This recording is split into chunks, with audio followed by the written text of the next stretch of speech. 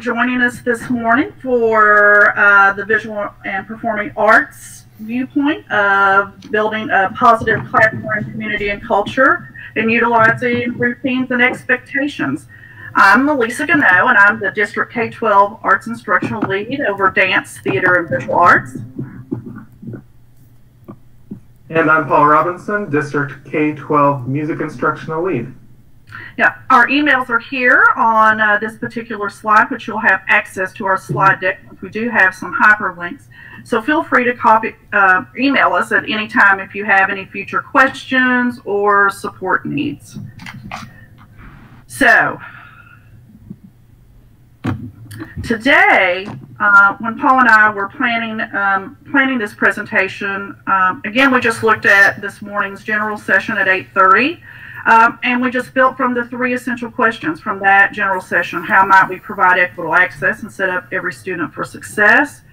How might we create a sense of belonging in a positive NTI learning community? And how might we establish and sustain routines and expectations to foster and elevate student voice? And so we're going to uh, address those three essential questions from the viewpoint of uh, the visual and performing arts. So we begin with equitable access and setting students up for success, which involves both systems and organizing the NTI space for student learning. And this is sort of the equivalent to setting up your physical classroom. So there are things that are beyond your control, just like in the physical classroom, but um, those include for NTI, major system, we're using Google Classroom. It includes approved digital tools and programs, student and parent communication tool, and school schedule and administrative expectations. But let's focus on the things that are in your control. These things include organizing Google Classroom planning, uh, planning units and lessons, establishing clear routines and expectations, including community building strategies and activities, and communicating with families and providing timely feedback to students. For the arts, equitable access includes these four things, which we'll look at now.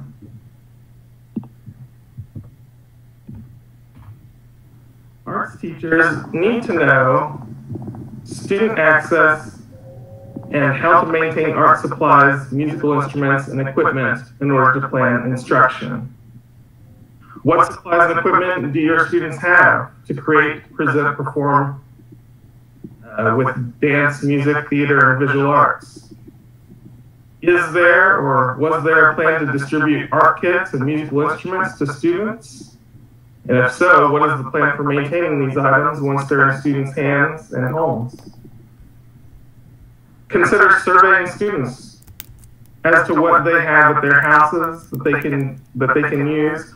Also, some teachers have used a scavenger hunt activity as part of a lesson to survey what students have and can use, making sure the students have parental permission to use, of course. Next, in terms of equitable access, access to technology, what technology students have access to is important for all teachers to know, not just visual and performing arts teachers. The Chromebooks were offered to all students. Not all took advantage of that. So, do all of your students have the same access to technology, and what do they have? Chromebooks, iPads, or just phones? What about access to Wi-Fi? Are there any barriers or limitations, such as having to share a laptop with a sibling, or only being able to attend synchronous live meetings on certain days and times? Remember, our students are in varying situations, they're not all at home. Some are at daycares, community centers, or working from parking lots and cars. So do all of your students have access to the digital tools you'll be using? Nearpod, Jamboard, Collabora, and others. Some devices, keep in mind, cannot download or operate certain apps or programs. And all these things need to be taken into account when considering students' access to technology. Okay, next, I'm going to talk about uh, instructional time, due dates, and the feedback loop. particularly for our elementary and middle school uh, visual performing arts teachers. They have to deal with the fact that they're seeing every student um, in the school either all in one week or in some period um, in terms of how the rotation is set up. We actually have probably just taking, for example, the elementary schools, more than 20 various schedules that are set up. Um, Paul and I did share, uh, in terms of the district NTI plan, some sample schedule that students could use. But what's in your control um, as the teacher and for our visual performing arts teachers? So regardless of your school schedule, and no matter whether you're teaching elementary, middle, and high, how much instructional time will you have with all of your students and classes? Will the day of the week that you see students um, and provide synchronous instruction affect your instructional time as well as due dates? How will the day of the week that you have a live class meet affect a due date? So this is a chart that we provide to our arts teachers just because we have to look at the calendar uh, and determine how many actual class periods are you going to have with students. So here at the elementary level, uh, we are in quarters by grading period, so you can see they're not exactly the same. But more importantly, um, the second half of this chart is when you break down uh, instructional days by the day of the week, whatever day you see those students, even in the NTI world, if you have synchronous lessons with students, um, certain grades or certain class periods only on Monday, uh, then, for example, this first two quarters up to winter break, you only have 16 class periods versus uh, classes that you have on Tuesday, you're going to have 18 class periods. So every year, whether we're in brick and mortar or NTI, elementary um, as well as middle and high have to look at actually how many class periods and how the day of the week affects planning instructional time and due dates for assignments. So this next slide is uh, the same uh, concept in terms of information for middle and high. Again, just look at the second half, you know, if you have classes, um, synchronous classes on Mondays, versus Mondays and Wednesdays versus Tuesday and Thursdays. Thursday, those do not equal out. Uh, mon, uh, if you're on a rotation blocks, rotating block schedule, Monday, Wednesday, Tuesday, Thursday, or red and blue days, however school uh, says that, your Monday and Wednesday students, middle and high, if you're following that type of schedule, you only uh, have for the whole year following that schedule 60, uh, 68 class periods versus a Tuesday, Thursday schedule that you're going to have 72. So it's really important for teachers in planning and developing that system uh, to know exactly how much instructional time they're going to have with students. And with all of these, this is also going to affect due dates. So if you have, if you introduce a lesson with some classes for the week on Mondays, but you don't get to that lesson with another group or another class until Wednesday, having the due date be Friday is not equitable. So visual performing arts teachers, um, as well as all special area related arts teachers, have to take into account uh, uh, making it as equitable as they can in terms of due date. So that may be a weekend due date, or the due date may be when they see the, the following week.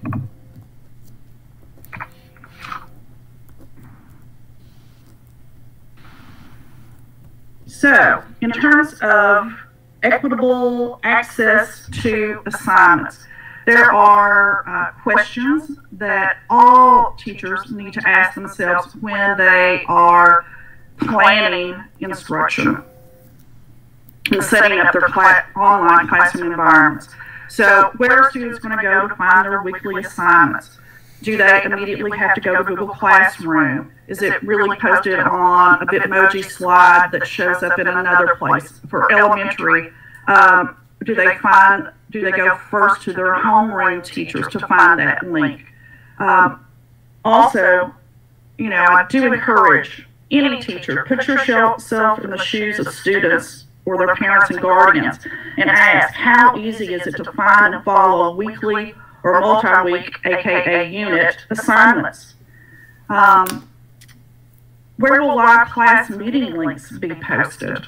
I know this is sometimes an issue at the elementary level where, um, particularly for the lower grade levels, K1 and 2, uh, those meeting links might not be posted in the Google Classroom. They may be posted in the homeroom teacher, for example.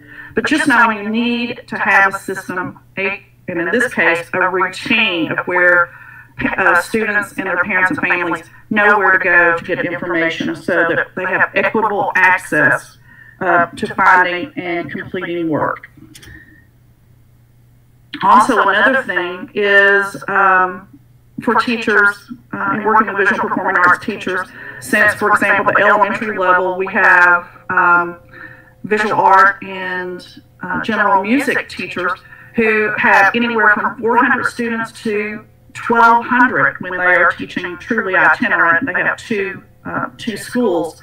So definitely teachers need to establish boundaries. When are you, the teacher, available? When are you going to respond to emails or questions?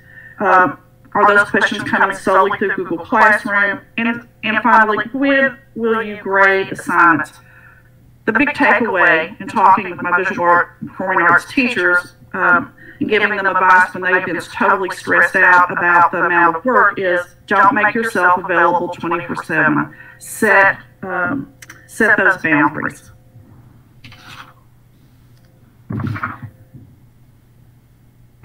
Another thing that I just wanted to show a couple of quick slides is going back to uh, organizing Google Classroom. I've seen um, several arts and non-arts teachers uh, Google Classrooms, and when you go to the classwork section, uh, assignments aren't, uh, they're not using the topic session. And for me, pretending that I'm a student or a lay person that's not uh, an educator, how does this make any sense? What week was which assignment assigned? So I uh, have definitely encouraged, you know, visual performing arts teachers to use those topics under the classwork section in uh, Google Classroom to note um, that day of the week that that, uh, that assignment or group of tasks have been assigned. Then you have the assignment, which this is the art elements and principles of design. The other big important thing is where can students and family know what's expected without watching a video, opening a slide deck. So here in Google Classroom, since that's our learning management platform, do a short description there. of what are those tasks for that, that week's lesson or lessons. And then list what materials, and particularly for visual performing arts, are they going to need a particular instrument, um, for visual art, are they going to need particular art supplies to make art during the synchronous session or also asynchronously in creating artwork?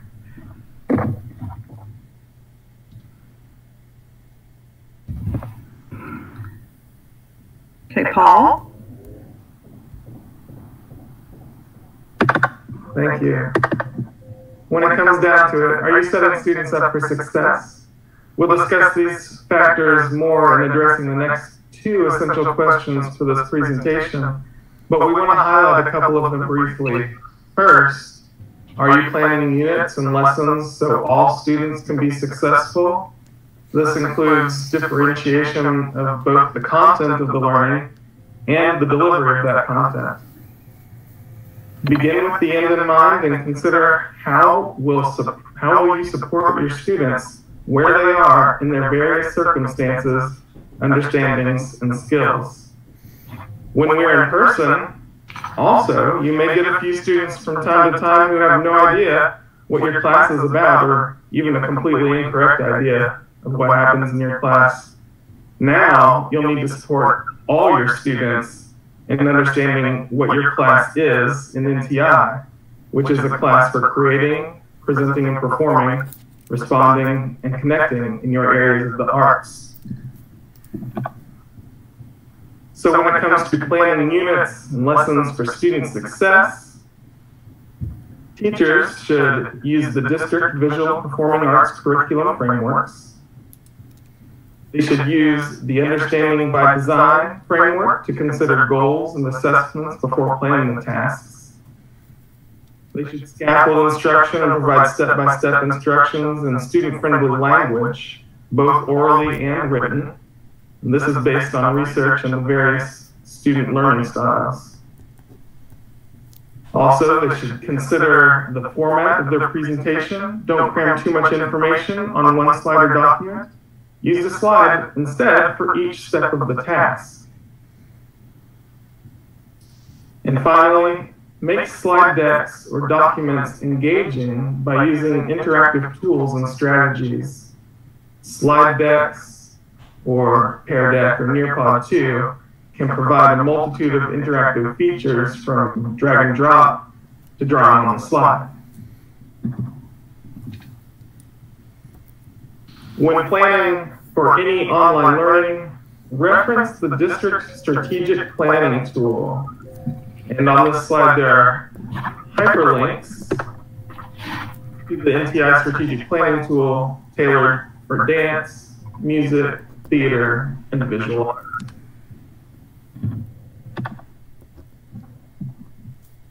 So that brings us to our second essential question.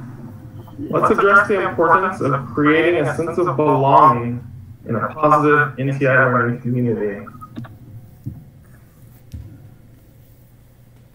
Here are some strategies commonly used by visual and performing arts teachers to create that sense of belonging and build community.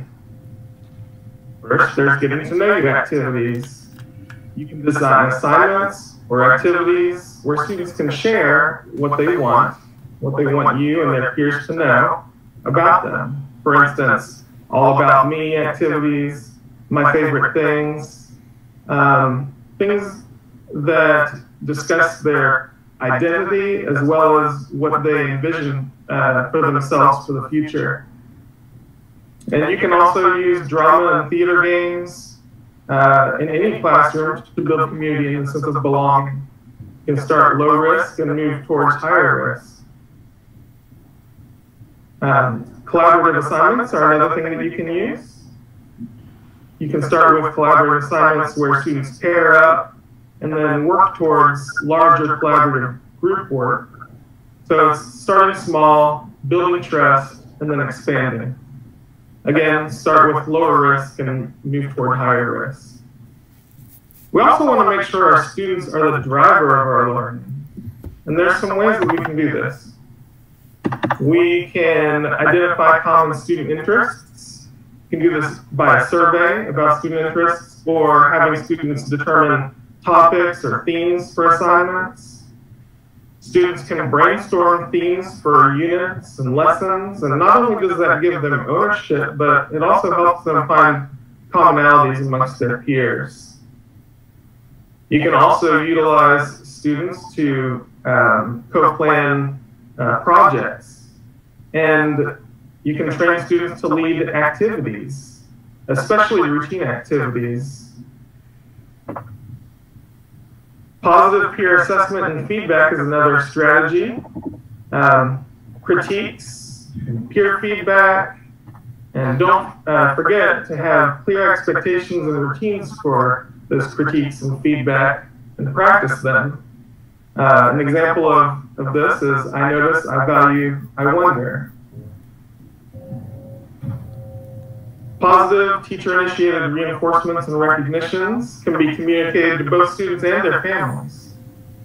Uh, there's a, in the general session, uh, they went over teacher-initiated behaviors, and those can be used.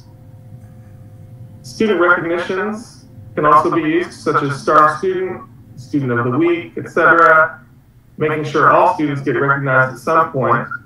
And for elementary, you may be able to simplify by coordinating with the homeroom teacher system for recognition and um, having particular students of, of a day. Another strategy is having a system for showcasing work and tasks. You can use Google Slide Decks, Google Sites, a YouTube channel, Padlet, and others. And these can also include uh, virtual and or live exhibitions and performances. And don't forget, you can always use non and or cross-curricular activities like community service learning projects, social time and events, lunch bunch, for example, or what my sixth grader calls chill time with friends that his um, teacher organizes for them. Asynchronous in-progress check-ins can also be utilized to provide feedback and comments beyond just written feedback, such as utilizing embedded videos and audio recorded feedback like Mote. And finally, anything you can do to create the sense of a physical classroom can help students feel familiar and safe. Virtual backgrounds with photo of actual classroom behind teacher desk and instructional space set up to look like a teacher's space. That can include posters, educational tools, objects, art supplies, easels, musical instruments and equipment, stage curtains, etc. These things can help the students feel like they belong.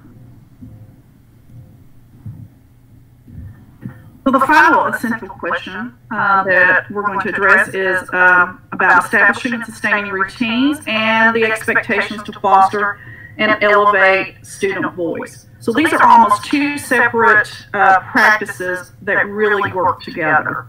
So first and foremost, establishing and sustaining routines and expectations. Uh, We've got an image here of a book. It's really targeted towards elementary, though it's um, many of the much of the information within that, which includes routines, uh, expectations, and various strategies in setting up a positive classroom or a responsive classroom um, environment is applicable to middle and high, and it's also the information that is adaptable to the NTI environment. Many of our elementary teachers have actually uh, participated in a B, uh, PD where we did a book study utilizing that book last year. So, teachers need to intentionally plan what, what the students and they, the teacher, are going to be doing to synchronous learning. So it's utilizing that classroom instructional framework for the visual and performing arts really and truly that looks almost the same as in the NTI environment. So what are what is the teacher doing with the students the or having the students do the moment that they show up to the synchronous live class meet? Um, how are they introducing um, a new lesson or a new concept or technique? Um, how are they demoing work, which many of you have probably seen, particularly for um, my visual arts teachers, uh, they've got like three um, three screens going, plus a camera uh, that's face down so that they can demo uh, a drawing or painting or construction, uh, sculptural or ceramic kind of technique uh, to show students.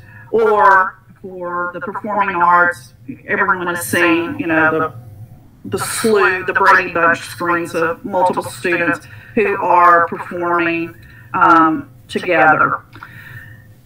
Make sure that um, we're making sure that our visual performing arts teachers are, are, are really clear about what routines they do need to create in the NTI world and what they need to do uh, in terms of continually continually returning and practicing those particular routines.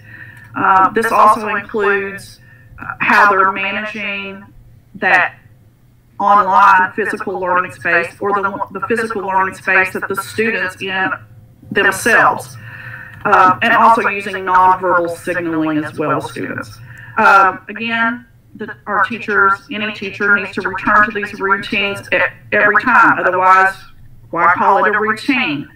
We're also encouraging, particularly for elementary um, special area teachers, which include our um, visual arts and general music teachers is to coordinate and connect with the students' homeroom teachers and see what are those rules and routines and take those into consideration when they're making their routines. They might just want to use most of those, or particularly in terms of, you know, you know, what's your starting um, routine? What do you do when you're when you're beginning instruction um, in a particular content area in the homeroom? And then the other thing is keeping it fun. Um, so many of our many of our visual performing arts teachers, you know, we're really good at performing. So um, they'll incorporate singing, they'll incorporate um, some acting, some call and response within these routines. One, it's a great mnemonic device in terms of getting it into permanent memory um, in any content area, but also in terms of the arts, it's important for our students to, again, um, be performing. The other thing is with our visual performing arts teachers, we, we have actually a fair number of routines because we have many different processes and techniques, and each of those may come with a particular routine of uh, either behavioral expectations or technical expectations. So our teachers have to start, just like any teacher should, should be starting small with just a couple and then add them over time as they come to that new concept or technique that needs its own routine or set of expectations. Um, also, kind of going back to organizing, the teacher has to have their own routine um, and convey that to students and their families. When are assignments going to be posted? When can they access those? And then how will the students submit work? This is huge for visual performing arts because we have artwork that's being photographed and teaching kids how to photograph work and how do you upload it? Are you adding it to a Google Doc? Are you adding it to a Google slide deck? Um, are you doing recordings? Are those recordings also, for example, going into a Google slide deck? Or um, is the work is in some cases just for ease of viewability, are you using some other digital tool like maybe Padlet for the student to upload work to look at uh, for a particular assignment? But knowing, have, knowing having uh, the students and the parents know this is where I go and when I can access assignments so I can do them synchronously and or asynchronously. and how um, I, the student or the parent or sibling or someone else who is assisting, particularly the younger students, how am I going to submit that work? Um, the other thing is for visual performing arts, we, we definitely, same for uh, non-arts content areas, we have routines for independent and collaborative work.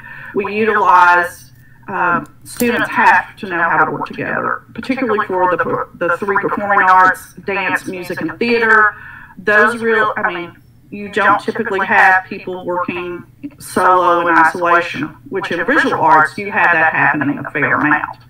Um, but for performing arts, students, you have to build, again, trust, uh, utilize the various techniques and strategies that, that, not only Paul and I have included in this presentation, but in the general session, and even some of the things that uh, the other content areas have brought up work completely for visual performing arts as well. Next, fostering and elevating student voice in visual performing arts.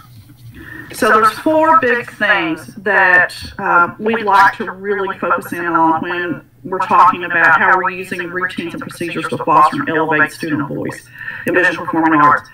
One, we got to create a safe space.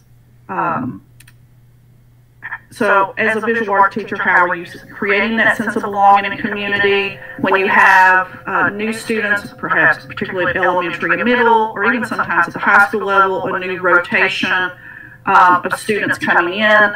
Uh, you're, you're having to start basically from scratch versus homeroom classroom teachers that are not on a rotation schedule. So, how are you making students feeling safe to share ideas and work? For visual performing arts, students are really putting themselves out there. They are creating work. They're having to work um, to create performances for dance, music, and theater. Um, and when they're sharing ideas and working with others, um, we definitely want to make sure that we don't end up and create um, a situation that the student feels like they could be bullied. And that really is in terms of talking to students in visual performing arts. That's one of the main reasons why uh, they don't participate or are reluctant to participate in some things because they're afraid that they'll be bullied by other students. So we definitely want to uh, make that a safe space, start with low risk, build high risk, as we've mentioned earlier in this presentation. And then how much freedom do your students have to share in opinions and ideas? Is anything up for grabs? Is there anything unacceptable? I know in visual performing arts we're all about, you know, creative freedoms, but there's certain things that are just unacceptable. We are not we are not going to have anything that promotes hate. So that's in terms of all visual performing arts.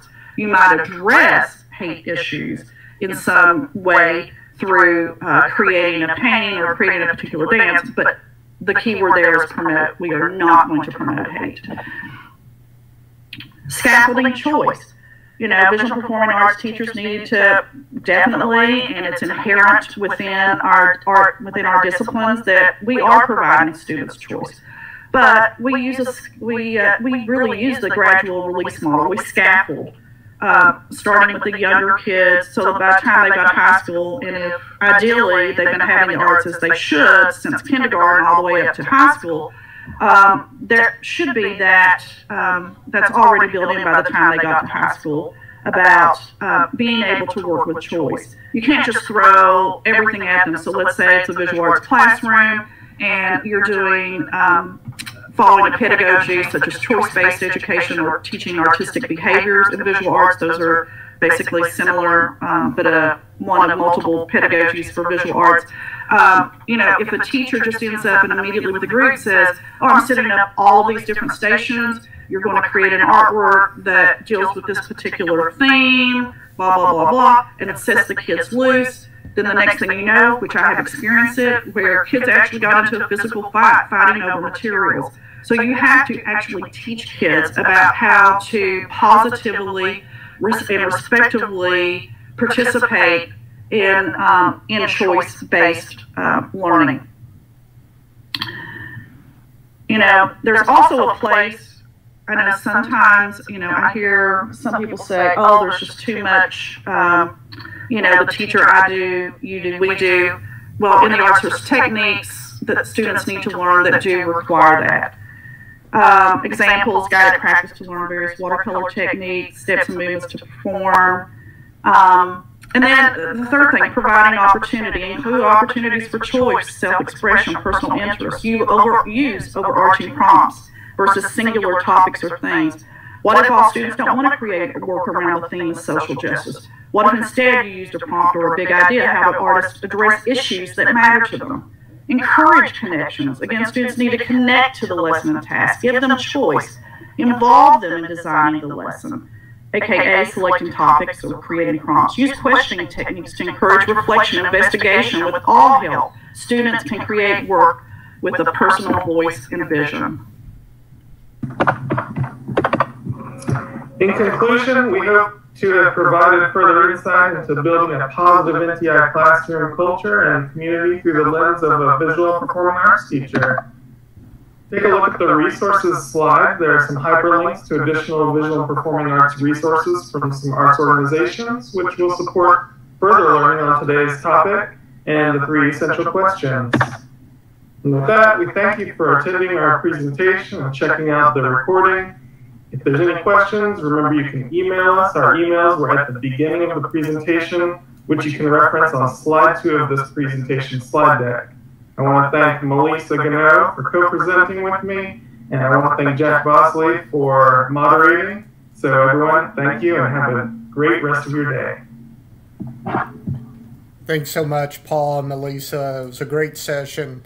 Um, I really um, like how practical, the practical advice that you all gave out with schedules and, and planning units and, and uh, just reminding them about those planning tools that are available to them. And one of the things that I was um, just reminded of, Melisa, when you were talking about, um, you know, the visual arts with photography and I added like video and digital art, uh, how that can be connected back into one of our favorite initiatives, uh, at least in the tech world, with the digital innovation team, and that's STLP. There's a whole yeah. category of um, uh, these items with STLP called DPOJ. It's digital projects, online judging, and your group of teachers. I feel like you know STLP is for is primarily aimed at our um, lab teachers and tech teachers at schools, but